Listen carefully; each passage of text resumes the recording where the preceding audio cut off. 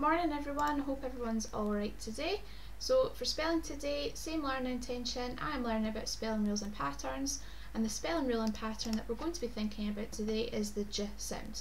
Hopefully by the end of this lesson we will realise that there are four different ways of making the j sound and we'll have a better understanding of how we can use these sounds. So the first activity that I would like you to think about, I've got the four ways of spelling the j sound up on the screen just now.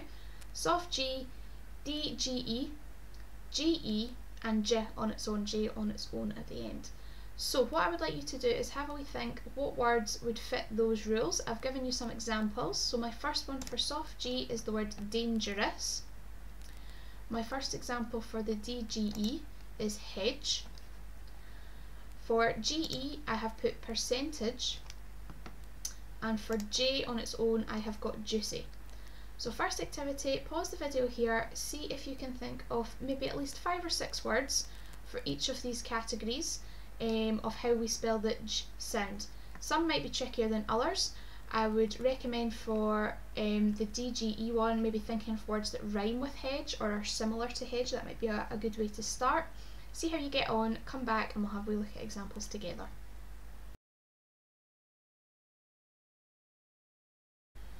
Awesome guys, so let's have a look at the examples I have got. Yours will be probably different to mine, um, but it's okay if you want to add some of my examples to your list, that's absolutely fine, or it might um, spark your thoughts about different words you might not have thought of before.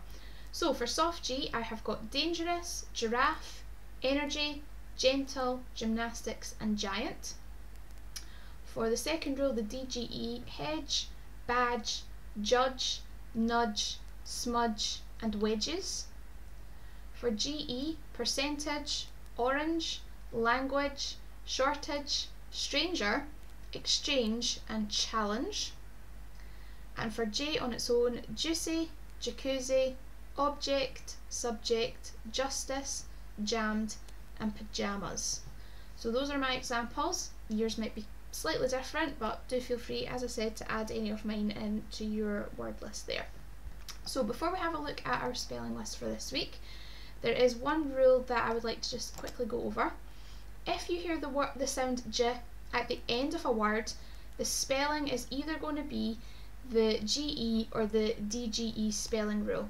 In English, we don't use J at the end of a word, so it's going to be one of those two spelling uh, rules. For example, carriage has got the GE at the end.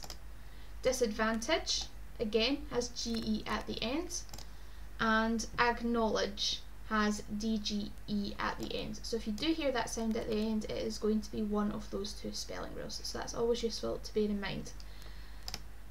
Word list for this week, again you can choose if you tackle cool, mild or spicy. For cool we've got gym, juicy, object, subject, danger, giant, stranger and fudge. Mild we have justice, challenge, language, dangerous, energy, badge, fudge, wedges and stranger. And for spicy, disadvantage, acknowledge, shortage, percentage, challenge, language, orphanage and carriage.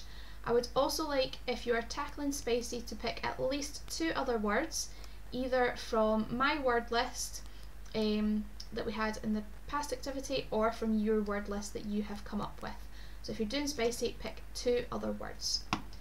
Tasks for this morning, guys. Copy your words three times, diacritical marking once, and use each word in a sentence. Diacritical marking, let's have a quick wee reminder of that. If I had the word shortage, I'm thinking about the sounds in the word shortage. So I've got sh at the start, so I underline that because it is the two letters that make the sh sound o, ert, a are sounds on their own, so they just get a dot, and then the j sound at the end is the line underneath it. For subject, each of those different letters makes its own sound, so I am going to have a dot for each individual sound. Have fun doing your test guys, post a picture on Teams once you're, once you're done and I'll have a look at it later. Talk to you soon, bye!